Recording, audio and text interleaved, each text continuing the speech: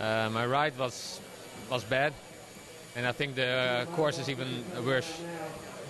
Uh, my opinion is that it's it's not a good time trial circuit. It's, uh, it, it, it's yeah, it's too hard for a time trial. Well, every course can be a time trial course circuit, but yeah, this is this is too much climbing.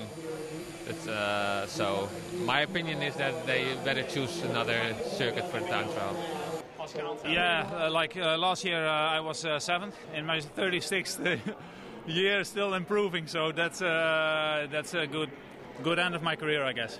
Well, I, I knew uh, from the the people around me that well, probably I was going to end up sixth and uh, yeah, then you have to be satisfied. It, uh, yeah, it's, it, you, you, still prove you, you belong with the best in the time trial, and yeah, the, the last two years uh, I did really good time trials, and I think when you end up six, six you have to be happy. Uh, uh, I was aiming for a better place than last year, and well, I, I, I, became one one place better, and you never know. Of course, you hope for maybe third place or, or the podium, but I have to be honest. The, guys in front are uh, are really good, and uh, I'm I'm happy with sixth.